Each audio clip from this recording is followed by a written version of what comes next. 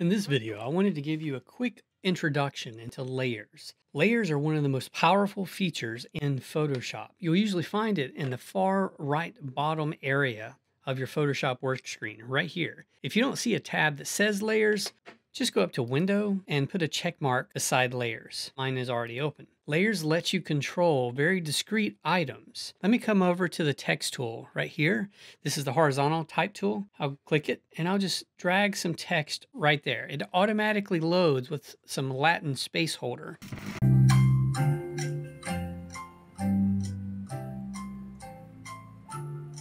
and I can click the color here and change that to red, click OK, click this check mark to accept it. So now I have a text layer. See how that works? And then what if for whatever reason I needed an adjustment layer to change the color? Maybe I wanted to make it sepia.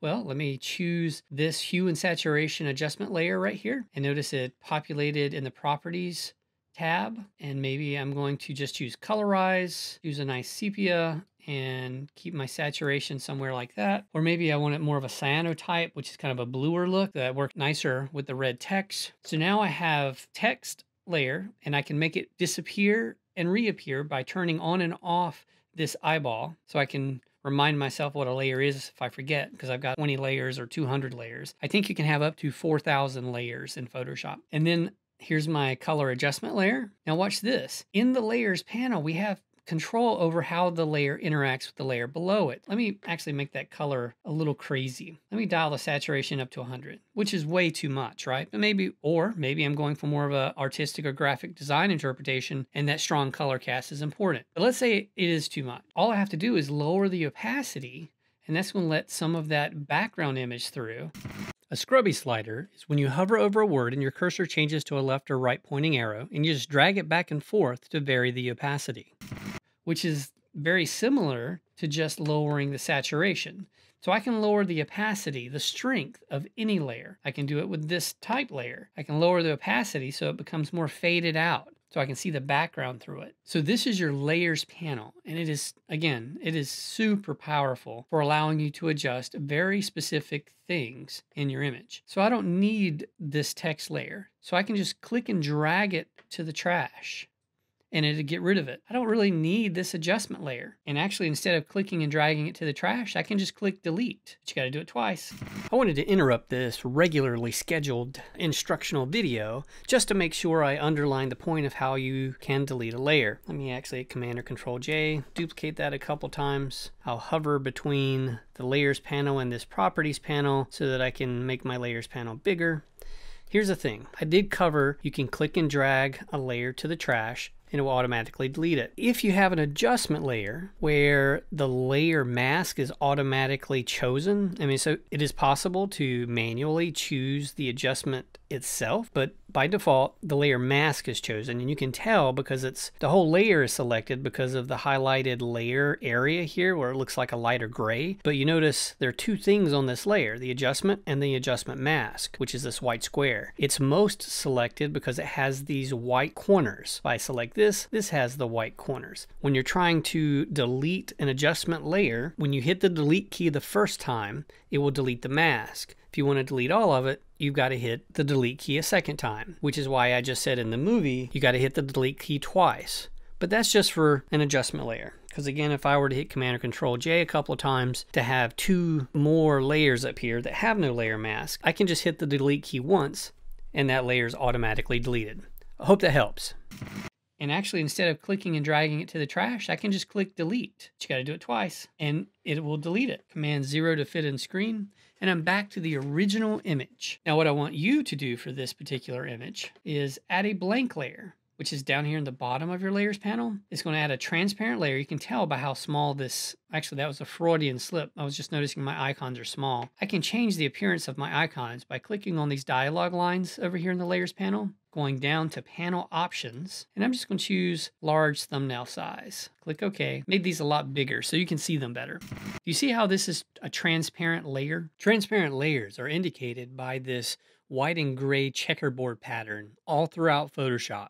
Essentially, I want to get rid of this trash that's down here. Remember, you can hit that magnifying tool right here, the zoom tool, and click just to zoom in. Then I can hold the spacebar down to temporarily turn my cursor into a hand to kind of move it around. So what I want to do is I want to retouch out this paper bag. I'm going to choose the spot healing brush, which is right here. And all you do is you paint over the subject and Photoshop will automatically get rid of it. You remember our technique. You can come up here, drop down arrow and change the size of this tool, or you can just use the left and right bracket key. Left makes your brush smaller, right makes it bigger. So I'm going to paint that out.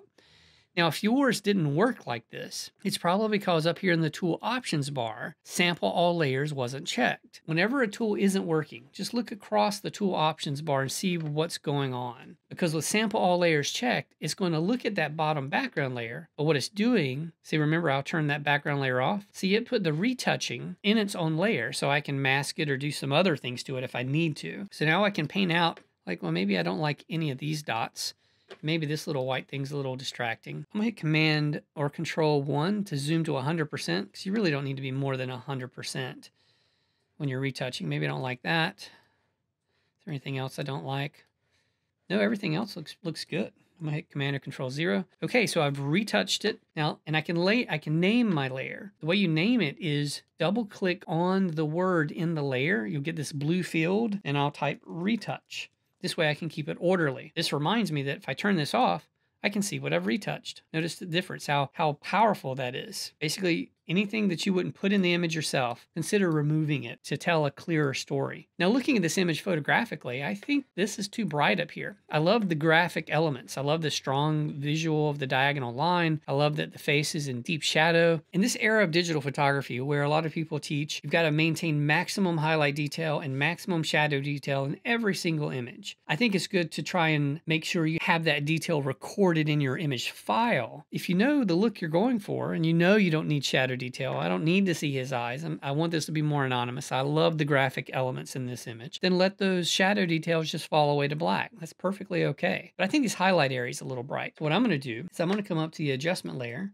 It looks like I don't have my full range of white tone, so I'll pull that in, but I'll pull my midtones down. I guess it'd be somewhere in there. It's always a balance because because everything is getting adjusted. So now I have this layer, I can turn it on and off. And after I've done this, if I don't if I still don't think I've pulled down those lighter tones, come to the output slider instead and just pull down those lighter tones a touch. So now I can turn that on and off by toggling this eyeball on and off to see the effect. Yeah, that retouching is a necessity here. So if I want to save this with all of the work I've done, I will go up to File and Save As. It's going to automatically make it a .psd even though this image was originally a JPEG because it has layers. You can only save a file with layers as a Photoshop document. Side note, you can actually save it as a TIFF, but don't do that. I say don't do that because TIFF is primarily used for output to CMYK printing like on giant printing presses. In today's market, you're either printing with uh, an online lab and you can still print great prints with a JPEG extension, and the .psd is just your best overall working extension because it allows you to open and save and rework and open and save and rework your images over and over and you never lose image quality. If you were to keep opening a JPEG, doing stuff to it, saving that JPEG, then opening that same JPEG up and remanipulating it and resaving it, you're actually losing image quality every time you do that because it's it's a lossy compression extension, which is great for making a big file small, but it is not great for a file that you're going to be editing on and off over a long period of time.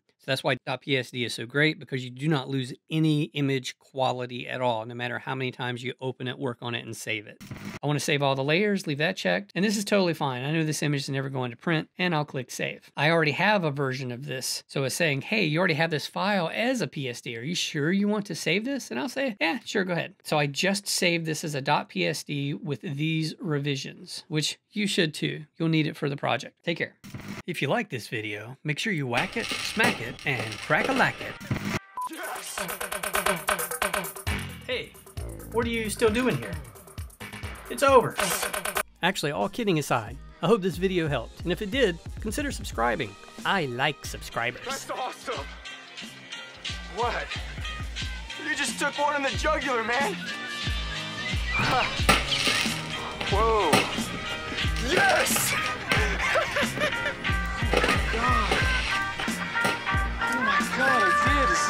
Hey, you stayed to the end. You know what that means? You're awesome. I'm talking about you. Now get out of here.